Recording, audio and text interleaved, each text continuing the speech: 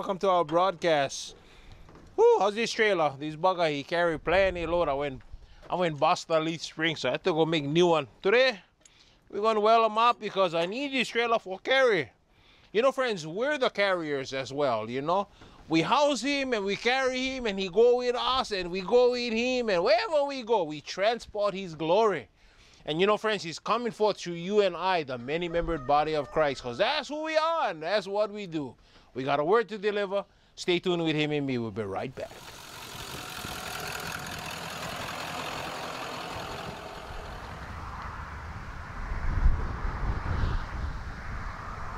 Hello, everybody. Welcome back to our broadcast. As you can see, we was kind of cruising around the farm, and you know, oh yeah, it's sucking windy, eh? so we had to make windbreak. And as you can see around the farm, we get windbreak all over the place.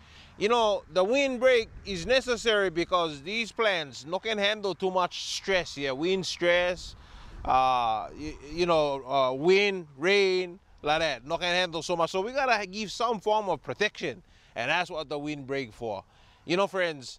God, He put people inside our life to actually become that for us because you know we want many membered body of Christ and we move together in unison and every part gotta play his part. You know, this thing about faith, you know, faith is substance of things hoped for, evidence of things not seen, for by it the elders receive the good report. You know, you know that, that scripture right there. Well, faith, number one, is substance. And God has given every man a measure of faith. And you know, for those of you that is struggling in your faith, you know, cause get this this brother who had one boy who was uh he was he was possessed, yeah, and the spirit would torment his boy so much that the father came, brought his boy to the disciples and said to them, the, the disciples of Jesus, and said, "Hey, you my boy," and they couldn't do it.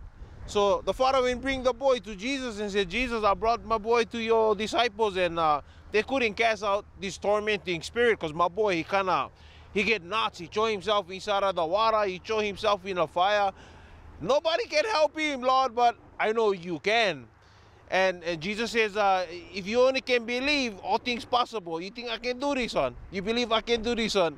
And the man's response to the Lord was, Lord, I believe, but help thou my unbelief. You, you see how this man had a measure of faith, but he also had ukapaila doubts inside him. But see, he had faith that Christ could do it. You see, friends, those of us that have a measure of faith that has been walking with the Lord and we've been exercising that spirit muscle, we kind of morph out, you know, because you begin like on small seed, but you got to morph out to become a mature tree where other animals can come lodge himself under. That's how the scripture uses the topic on faith. So if you're a morphed out tree, in this case, I'm referring to me. If you don't want enough faith, come house yourself under my feet over a living word. Because you know why? We're in his mouth. We eat his word and we cannot help but just ooze his word out into the earth. Because, friends, that's what we are. We the jaws of life. I, I gotta share with you on this one uh, dream the Lord will take me into. And he, you know, you get the kind of dream that is pizza kind of dream. You know, when you overeat like that and you go try crash, like, you all kind stuff come in, come in, yeah. But then get the kind that is God kind. You gotta be able to discern the kind that is from God and the kind that is from eating too much spicy food, perhaps. This dream, friends, I saw my boy. My boy went get into a car wreck. And in this dream, I saw that the first responders came and they had the jaws of life. You know the one they use for for cut the car up so that you can extract the person who's still stuck, pinned in the car. And in this case, I saw my boy. He was pinned in a car, and they went go use the jaws of life, and they went cut this car apart, and they was taking him out in pieces. You know, he wasn't one whole person. He was all body parts all over the place, but they did extract him with the jaws of life.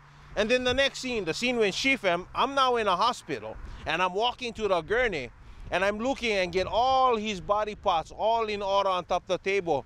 And upon closer observation, I realized that he know was dead.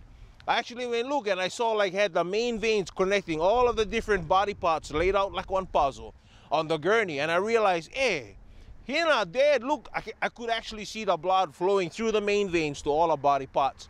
When I came out of that dream, immediately I already knew what the interpretation was. You see, friends, the jaws of life in the dream represents us and the word being in our mouth. We're the jaws of life that is extracting sons from Uh, uh, things that they have gotten themselves into that will mess up their life. You know, like I, I've been saying for some time now, we're like damaged goods. The sons of God have been separated from their God.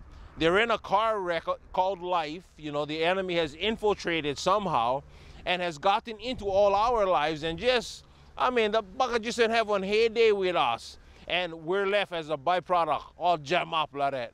But you see, we who eat the word of God becomes that jaws of life because when we're consumers of that word, we speak life. And in essence, we're saving sons and we're pulling them out from Satan's grips. See, that's who we are in him. When we're the consumers of the word and we become that living word. You see, this is the word made flesh. And as we're coming into this season of our lives of maturity, friends, because I know we're all on different planes of maturity, the point being is that I don't care how hard things get. I don't care what challenges you're facing in life. You gotta keep pressing into Him. You gotta go higher into Him and you gotta go deeper into Him. That's what we do. You know, and as we're moving like that, you're gonna find that God always comes forth. He always comes through, but He's gonna put a demand on your faith. You see, because you gotta appropriate God's provision. He already got a victory for us. Our job is to appropriate, lay hold of that victory, and live in his victory, in spite of what we're having to traverse through. You know, so so we're talking about windbreak, yeah? See, these are folk that people that God put into our life for help us have that time to be able to mature. We kind of like house ourselves. We shelter down and we uh, have time to incubate and take another step in another season of maturity until we become full blown and others can come and lodge themselves in our faith so that they can morph out in God. See, that's the beauty of this. And a good spiritual father will be able to see that in a son in his maturing process.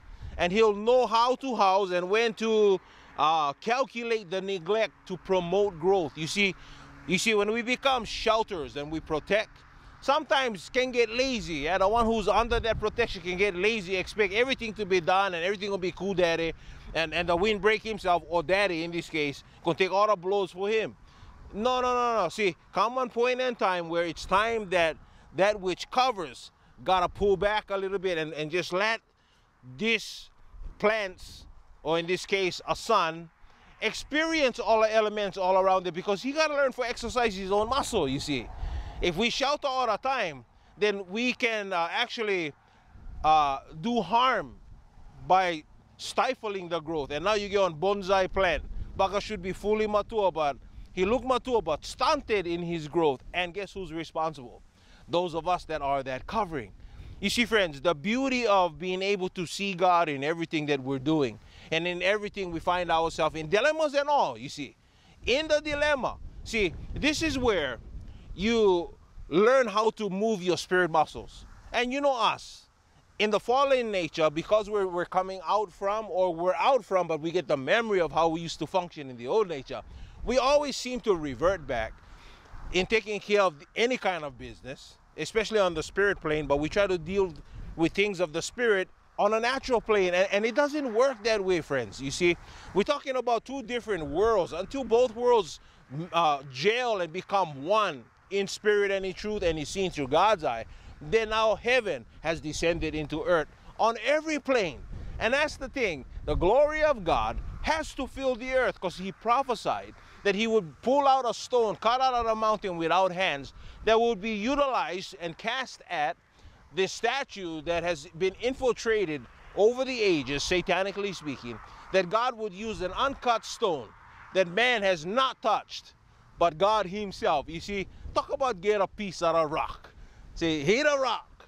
And that's the thing about that. Satan has counterfeited, counterfeited the rock. Now we're just smoking a rock and we're getting all nuts because of that rock. I was talking about that drug stuff that is just infiltrating this land. Some of you stay stuck on that, but I promise you, if you beat, you let your heart beat after him, your freedom really is available in the now.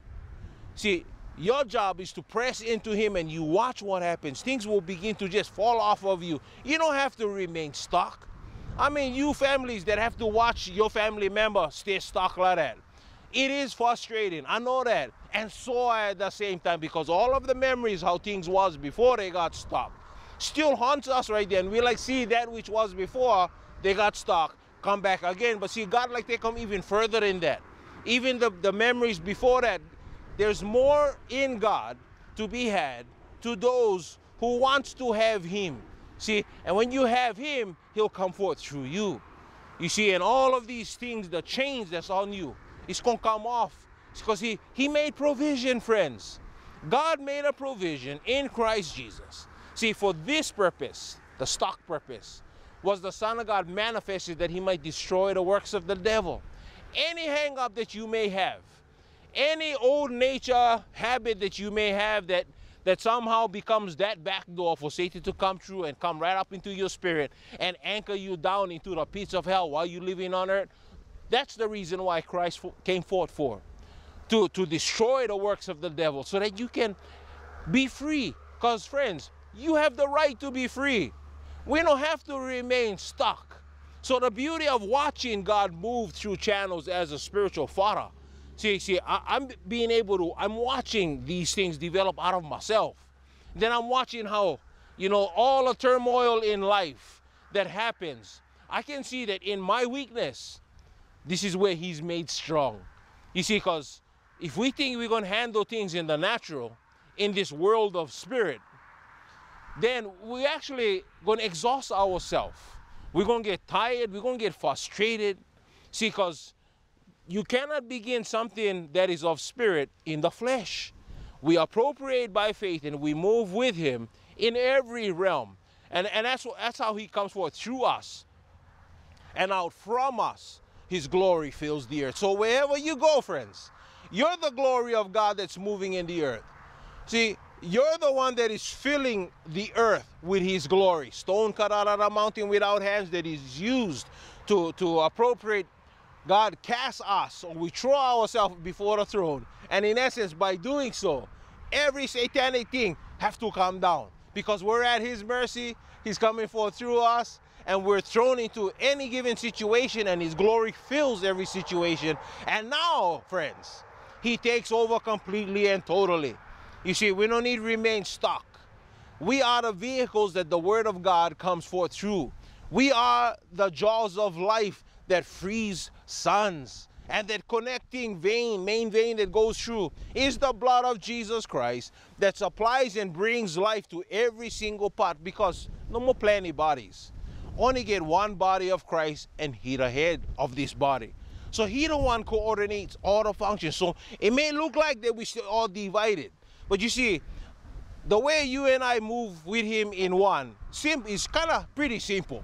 Is that True sons of God are those that are doing the will of the Father. You see, that's how we know who my brother, who my father, who my sister, who my mother. It's those that's doing, doing, friends, the will of the Father. So when we are doing Him and He's doing us, then He's coming forth through us. And He's going to throw us in dilemmas because you see, for us, if we see Him as one dilemma, instead of coming with the combination to, to see that, oh, that's a lock situation, but yet the kingdom of God needs access because it's been usurped. The Kepolo and changed the lock, think he getting away with it. He's squatting upon the inheritance that belongs to sons. See, when you see him like that, then you can go any place that the Lord, the Spirit of God directs you to. And you are that combination to that lock situation. And when the Lord in you moves into those areas and you begin to unlock the chains, the doors blow open and the spirit of the Lord flows right into that lock situation and all that darkness in there gets exposed. And the beauty of this is that they're sons and daughters of the kingdom of God that is locked down in a Babylonish system. They're good people, but they're in lockdown and they don't even know they stay in lockdown. See, so when God orders something, friends, I want you to know something. You're the vehicle. You're the one that's carrying. You're the one that he overloads so that you can take that load and deliver the goods. You see, you see how that works? That's why I had to show you the footage of getting inside a truck first thing in the morning. And you know, we go off to work, we gotta carry load, we gotta push this, we gotta pull that, we gotta transport goods from here to there. See, in the natural, the picture's already laid out. Our God will give us all the footage necessary in life. He draw picture for us, because he know me, this kind of here. I learned by draw picture. And when once I see a picture that is painted in life, I can see him in as the master painter. And when you can see that he the one that's doing all the painting, see, see, we sons know as a matter of fact that our God orders our footsteps. Why, why, why, how do we know that? Well, the footsteps of a righteous man is ordered of the Lord. You see, so if he's ordering our footsteps on a daily basis, then you gotta see him through any given, even the stuff that don't feel good, friends. Even the challenges that seems to uh, come your way to kind of want to take you down. You gotta trust that God get people in the balance that's gonna hold your atmosphere while you're being processed. I mean, it's, it's like Jesus saying to Peter, Peter, Satan has desired to sift you as wheat, but I have prayed the Father that your faith no fail. And when you are converted, become strength to your fellow brethren. You see how that works right there? The impartation that Peter needed. He saw Christ as the demonstration, not just the demonstration. He was God in human drag, is what he was. And Peter saw this. He saw the signs, wonders, and miracles that followed Christ. See, you and I don't have to produce the miracle. We are the miracle that's happening. And signs and wonders follow us as we follow his lead. You see how, how that thing work? See, so when Christ said to Peter, Peter, Satan has desired to sift you as wheat. That story, friends, has not changed. I'm singing the same song to you. Satan has desired you to sift you as wheat. But I'm praying to the Father that your faith no fail. Uh, you, you know, you know, when I'm saying that I'm praying that your faith no fail, it's because the living word that flows out from and into your spirit is all that is necessary and needed. It's the cross, friends. It's our appropriation of what Christ already did and finished. When he said, it's finished, he said what he meant. He meant what he said. Our job is to lay hold by faith what he said.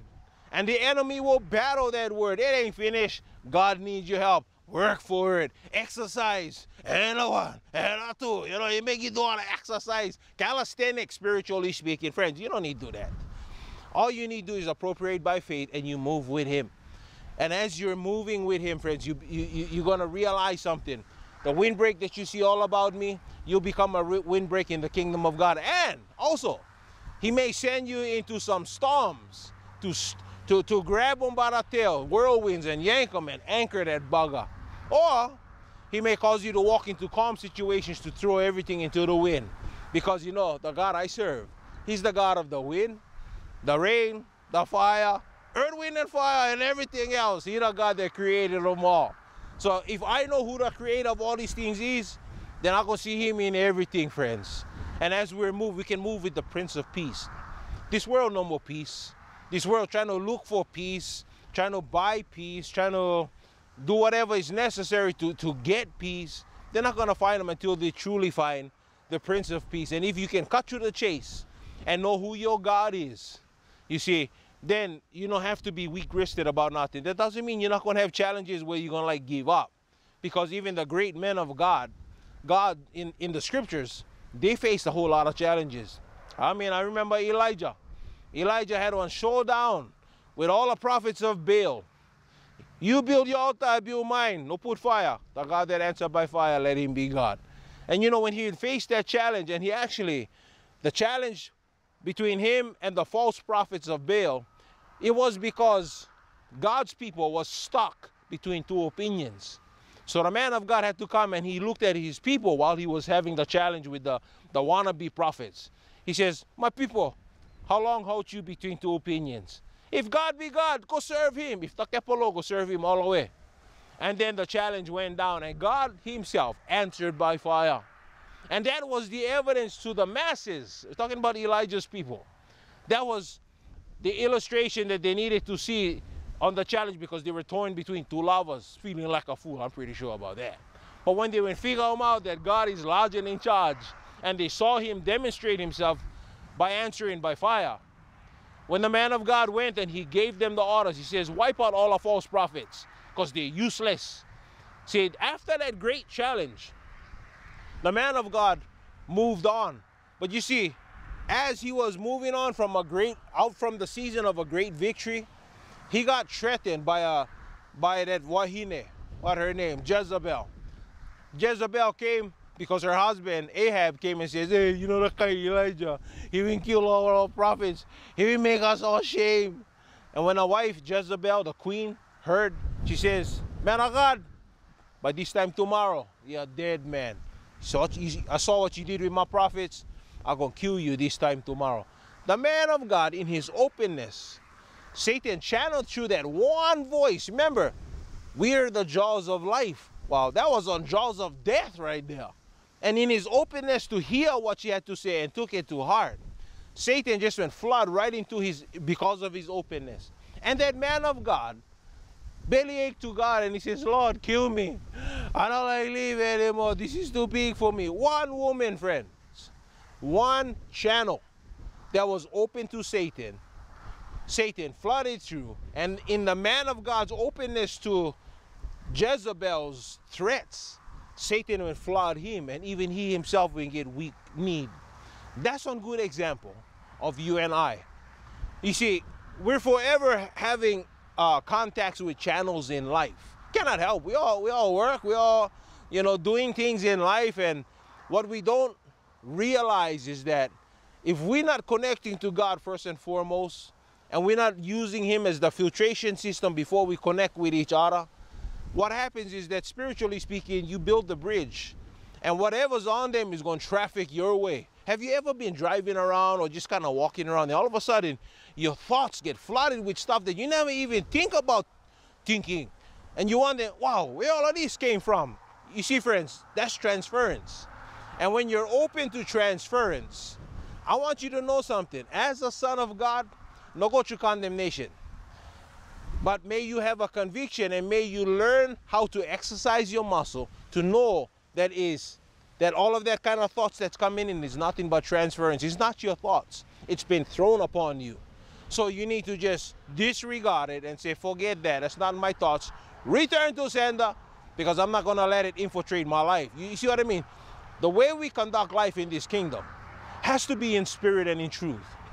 See, he's truth himself, way, truth, and life. Anything lesser than that is but a death sentence. It's suicide to leave him. And that's why when we enter in, we depart not from his presence. We stay with him. We stand at full attention and we pay attention, friends. See, that's the problem.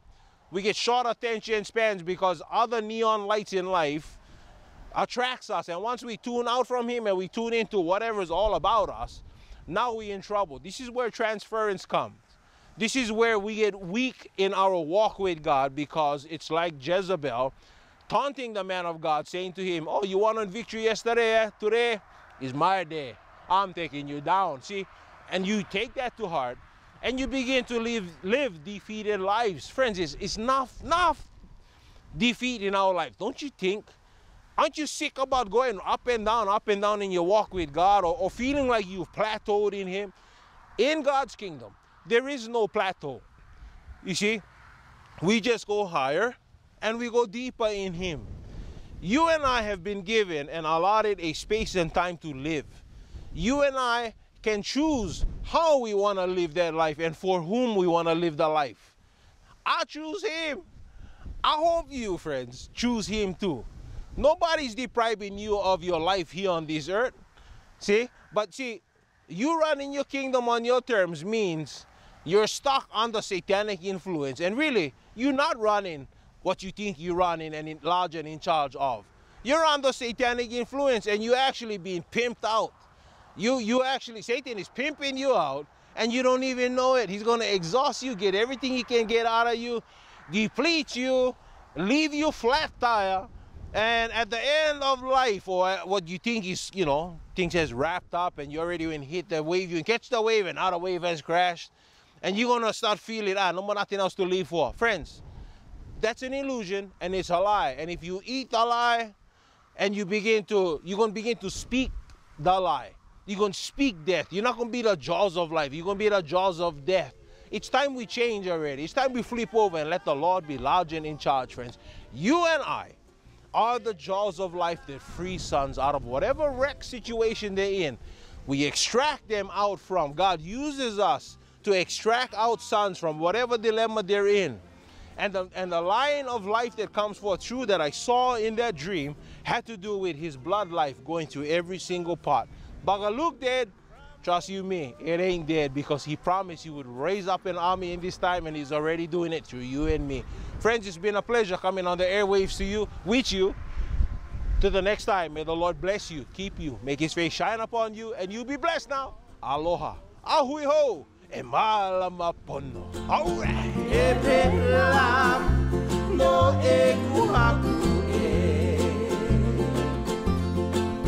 e te la, no e